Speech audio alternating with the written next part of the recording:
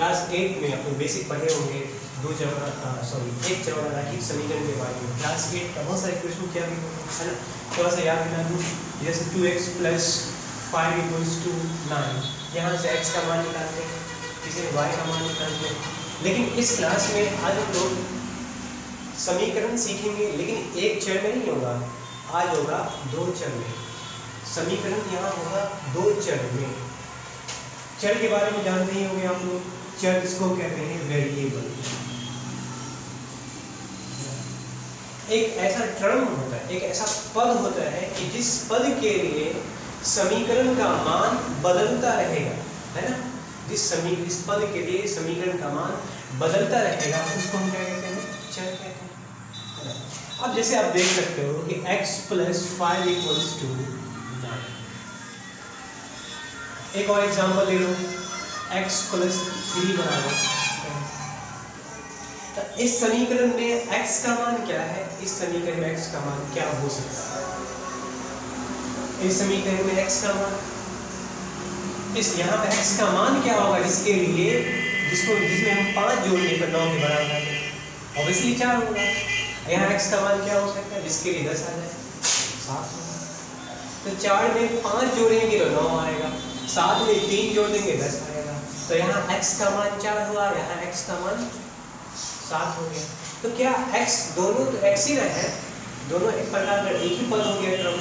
लेकिन यही x दोनों समीकरण में x का ये तो मान दोनों समीकरण के लिए बिल्कुल क्या है? अलग है डिफरेंट है। तो इसे हम क्या कहेंगे? चर। देखो, आप देख सकते हो, यहाँ पाँच। तो ये पाँच पाँच ही रहेगा। नौ नौ ही रहेगा तीन या दस ये रहेगा तो ये जो टर्न होगा हमारा ये क्या होगा अचर इसको हम कांस्टेंट कहते हैं ये जो हमारा टर्म होगा जो हमारा पद होगा वो क्या होगा चर है ना किसी पद का वह मान जिसके लिए समीकरण का मान बदलता रहता है उसको हम कहते हैं चर जिसके लिए नहीं बदलेगा वो क्या होगा हमारा अचर बेसिक चीज़ें सब जानते होंगे। तो अभी हम बात करेंगे चर पद कौन होगा है ना? चर पद कौन होता है, अचर पद कौन होता है जनरली इंग्लिश अंग्रेज़ी का अल्फ़ाबेट जो जेड तक होता है एक्स ए बी से लेकर जेड तक। जनरली हम उसको चर पद के नाम से जानते हैं। उसमें मोस्ट फ़ेमस है x y z generally maths में इसी तीनों से हम लोग डिनोट करते हैं। एक्स वाई जेड को हम बोल देंगे चर पद या अल्फ़ाबेट कोई भी अक्षर, कोई भी लेटर होगा, वो क्या होगा? हमारा चर पद क्योंकि इसका कोई निश्चित मान नहीं होता है। अगर इस निश्चित मान फिक्स कर दिया जाए, निश्चित कर दिया जाए तो फिर वो चर नहीं रहेगा। वो क्या होगा? अचर होगा। चर का मतलब है कि मान जिसका बदलता रहेगा? किसी भी मान के लिए उसका मान बदलता रहेगा। वो क्या होगा? चर पद है ना? अभी एग्ज़ाम्पल के तौर पे आपको समझाया गया तो हमारा x क्या होगा? चर पद y भी क्या होगा? ये भी चर z भी क्या होगा? ये भी चर पद लेकिन हम इससे बात करेंगे दो की। या कोई मान ले लो कि कोई भी संख्या ले लो, किसी भी प्रकार का परिमेय संख्या ले लो, वास्तविक संख्या ले लो, किसी प्रकार का वास्तविक संख्या ले लो, वो सारे के सारे संख्याएँ जो होती हैं, वो क्या होता है? अचर पद वो क्या होगा आपका? अचर पद। टू होगा।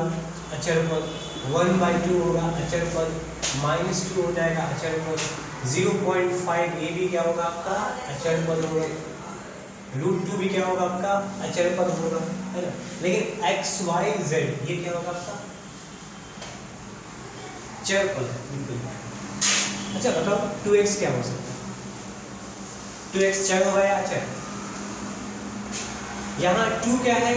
अचर। एक्स क्या है? चर। तो एक अचर और एक चर पद का गुणनफल जो होगा, वो हमेशा क्या होगा? चर पद। अचर और चर, इन दोनों का गुणनफल या भागफल जो होता है, वो क्या होता है? हमेशा चर पद। जैसे टू एक्स, ये भी हो गया चर पद। एक्स बाई टू, ये भी हो गया आपका चर पद, है ना? एक्स का पावर टू, ये भी आपका हो गया चर पद। लेकिन जब हम प्लस और माइनस दो पदों को हम प्लस माइनस के साथ अलग करते हैं, जैसे x प्लस टू और यहाँ ले लेंगे एक्स माइनस टू तो इसमें एक पद नहीं है, इसमें दो दो पद है। ना? यहाँ एक पद हो गया, एक पद एक पद। बेसिक चीज़ बात जानते होंगे क्लास एट से पढ़ के आए बीजी व्यंजक में, उसमें पद कितना, एक पद क्या होगा, दो पद क्या होगा, तीन पद किस पे कहते हैं, सब पढ़ के आए ये एक पद होगा इसको भी हम एक पद कहेंगे। जब दो या दो से ज़्यादा पद एक गुना में हो या भाग में हो या पावर में रहे तो उसको हम कहेंगे सिंगल टर्म एक पद कहेगा। ले, जब लेकिन प्लस माइनस में अलग होगा तो वो क्या होगा? दो पद होगा। यहाँ दो पद है यहाँ भी क्या है? दो पद इन दोनों पदों में एक पद जो होगा वो चर है एक पद जो है वो चर दूसरा यहाँ क्या है? अच्छा तो x हो जाएगा आपका चर पद यहाँ टू हो जाएगा आपका अचर पद ये भी एक चर, ये हो गया अचर पद तो ये बेसिक चीज़ है। इसको आप जानते हैं। समीकरण में सिर्फ़ चर और अचर की बात कर रहे थे कि चर और अचर होता क्या है। अगर ये बेसिक चीज़ आपको समझ में आ रहा है तो दो चर वाला रैखिक समीकरण क्या होता है, वो समझाएँगे।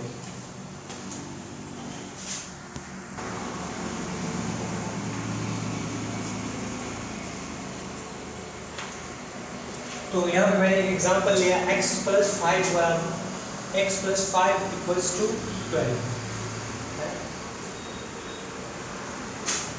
इस समीकरण में अच्छा ये बता ये कितने चर में समीकरण? बेसिकली एक चर में समीकरण। ये समीकरण सिर्फ़ एक चर में है मतलब x के रूप में अगर इसमें दो दो चर आए, जैसे x plus y equals to five इस समीकरण में देखोगे, दो दो चर अच्छा समीकरण क्या होता है? पहले यहाँ समीकरण का मतलब हो गया कि जिस समीकरण में एल टर्म हो sorry R H S term हो और एल एच एस टर्न दोनों साइड हो तो उसी को हम कहेंगे समीकरण।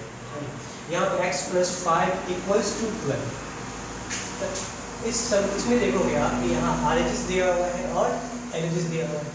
तो इसी को हम कहेंगे समीकरण।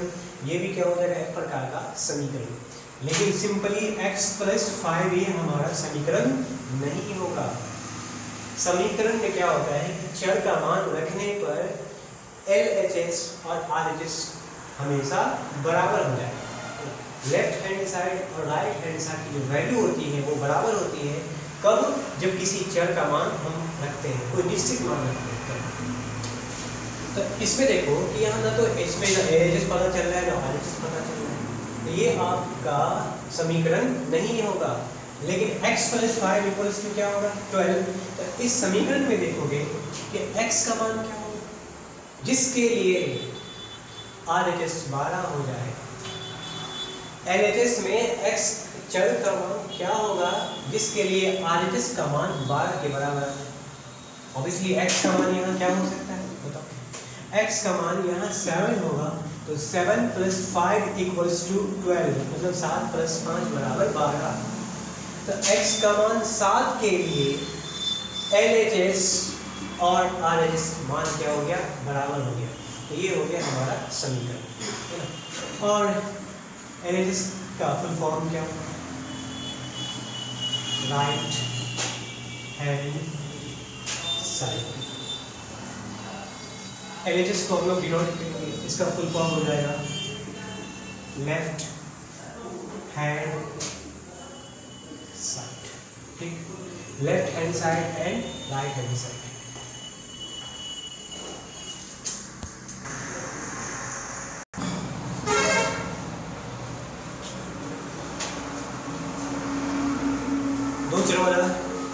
समीकरण का व्यापक रूप, ये होता है a x plus b y plus c बराबर ज़ीरो है ना? इस समीकरण में जो एल आर एस एस है, वो हमारा ज़ीरो हो गया। एनालिसिस वाला जो टर्म हो गया हमारा, वो a x plus b y plus c है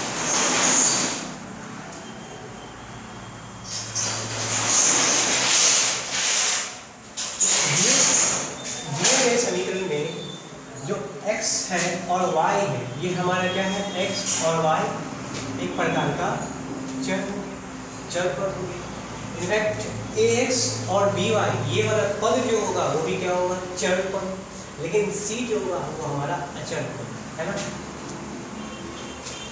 ए एक्स और बी वाई वाला जो पद है, वो हमारा क्या है? चर पद हो गया और इसमें जो सी है, वो क्या हो गया हमारा? अचर पद यहाँ x और y ही हमारा सिर्फ़ चर है, बस। जब x, y चर होगा तो ax क्या होगा? वो भी चर। by भी क्या होगा? वो भी चर। क्यों? क्योंकि दोनों आपस में गुना में लेकिन c जो है, यहाँ c अचर पद माना c को एक मतलब एक निश्चित मान मान लिया गया x और y, इसकी दोनों वैल्यू क्या होगी? बार बार बदलती रहेगी चेंज होता रहेगा। तो ax और by हमारा हो गया चर पद c हो गया हमारा क्या? अचर पद अब इसमें a है और b a और जो b है, यहाँ जो a होगा, वो भी एक प्रकार कहीं ना कहीं अचर होगा। होगा नहीं, बिल्कुल है। अचर पद है हमारा तो a जो है, वो क्या है? हमारा अचर पद या ए हमारे लिए क्या होगा? जहाँ ए बराबर होगा एक्स का गुणनांक ए होगा क्या? एक्स का गुणनांक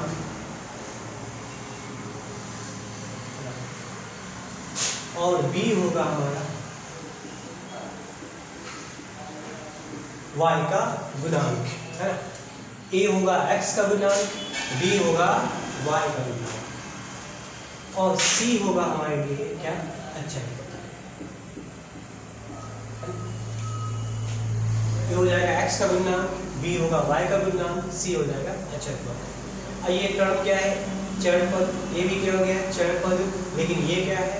अचर पद x और y चर में है तो x, y जब चर है तो ax भी क्या होगा? चर पद होगा। By क्या होगा? चर पद। हाँ लेकिन इसमें x चर है और a क्या है? अचर। तो एक, बताया तो था थोड़ी पहले, कि एक चर पद और एक अचर पद का गुणनफल क्या होता है? चर चर और अचर का गुणनफल क्या होगा? चर ये भी चर और वेरिएबल टर्म ये भी है, ये भी आपका वेरिएबल टर्म है। लेकिन ये क्या है आपका? Constant term a b c constant है। मतलब अचर है। तो ए बी जो है, वो एक्स और वाई में गुना है। इसलिए ये दोनों भी क्या हो गया? अगर इसको इंडिविजुअल कहेंगे ए क्या है बी वाई क्या है तो वो चर पद है। लेकिन जब ए को अलग कर दिया गया इंडिविजुअल कर दिया गया बी को अलग कर दिया गया तो ये दोनों क्या होगा? अचर। इसका मान कुछ न कुछ होगा। ए और बी ए है एक्स का गुंडा बी है आपका वाई का गुंडा। तो ए का जो मान होगा, कोई वास्तविक संख्या होगा। कुछ भी हो सकता है। कोई वास्तविक संख्या हो सकता है। बी का मान भी क्या होगा? वास्तविक संख्या। सी भी क्या होगा? वास्तविक संख्या। ए बी सी तीन व तीनों क्या होगा? वास्तविक संख्या होगा। लेकिन x और y एक प्रकार का चर पद है। X और y का मान कुछ ना कुछ आ सकता है।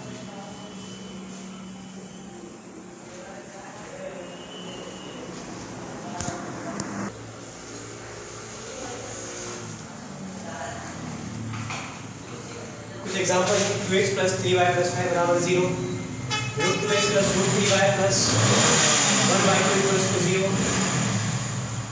minus three x minus one by two minus five बराबर ज़ीरो है इसमें बता ए बी सी का मान क्या होगा? इसमें क्या होगा? इसमें क्या two x plus three y plus five मैंने बताया था कि ए क्या होगा? एक्स का गुणनांक तो चर x के गुना में कोई भी संख्या, जनरली वास्तविक संख्या होगा। जो भी गुना होगा x के गुना में, वो क्या होगा? A का होगा। तो यहाँ a का क्या है? दो। प्लस b का मान क्या होगा बताओ? इसमें b का मान क्या होगा? Y के गुना में थ्री है। Y के गुना में b है। यहाँ कंपेयर करेंगे, तुलना करेंगे, है ना? कंपैरिजन करने के बाद हमें बताना है ए बी सी का मान क्या होगा। तो x का गुना सिंपली याद रखना, जो x का गुना होगा वो a होगा। Y का गुना b है, अचर पद c है। हाँ इसमें व्यापक रूप माना गया है। Ax plus b y plus c बराबर ज़ीरो दो चरण रैखिक समीकरण के व्यापक रूप को माना गया है। A x plus b y plus c बराबर ज़ीरो व्यापक रूप कुछ भी हो सकता है, व्यापक रूप बदल भी सकता है चेंज भी हो सकता है। अगर चाहे तो हम व्यापक रूप जनरल फॉर्म ऐसे भी कर सकते हैं। B y plus c x b x plus c y plus d equals to zero व्यापक रूप ये भी हो सकता है। कुछ भी हो सकता है, अपने हिसाब से तुम यूज़ कर सकते हो ले सकते हो। लेकिन जनरल फॉर्म जो व्यापक रूप होगा, वो x plus b y plus c बराबर ज़ीरो के रूप में लिया गया है। इसी आधार पर हम लोग क्वेश्चन भी करेंगे और सोल्यूशन समस्याओं को हल भी करेंगे। एक्स और वाई का मान भी निकालेंगे। तो यहाँ व्यापक रूप a x plus b y plus c बराबर ज़ीरो में अगर हम इसकी तुलना इसके साथ करते हैं तो ए का मान हमारे लिए क्या आएगा? दो। बी का मान क्या आएगा? तीन। अचर पद, जिसके गुना में कोई भी चर नहीं है, यहाँ सी यहाँ क्या है? फाइव तो सिंपली सी का डायरेक्ट मान क्या होगा? पाँच। ये हो गया ए बी सी का मान इस समीकरण में। तो बता दो, अब दूसरे सवाल में ए बी सी का मान क्या होगा? ए बराबर क्या? Root two one b root three c one by two ठीक है? इसमें बता दो ए बी सी का मान क्या? इसमें ए बी सी का मान ए बराबर क्या?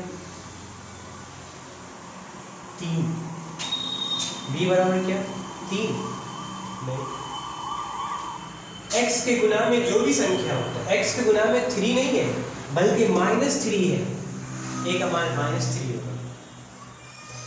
वाई के गुना में जो भी संख्या गुना में होगा तो वाई के गुना में क्या है? वन बाई टू नहीं है। माइनस वन बाई टू क्योंकि व्यापक रूप हम जब कंपैरिजन करेंगे, तुलना करेंगे तो प्लस बी वाई तो वाई के गुना में वाई का जो गुणांक है, वो प्लस बी है। तो यहाँ पे वाई का गुणांक प्लस वन बाई टू नहीं है। बल्कि माइनस वन बाई टू है तो बी का मान क्या होगा? माइनस वन बाई टू, है ना? बी का मान डायरेक्ट क्या होगा? Minus one by two. यहाँ प्लस सी यहाँ माइनस फाइव तो सी का मान क्या होगा? फाइव नहीं। अचर पद प्लस के साथ है, व्यापक रूप में। यहाँ अचर पद क्या है? Minus five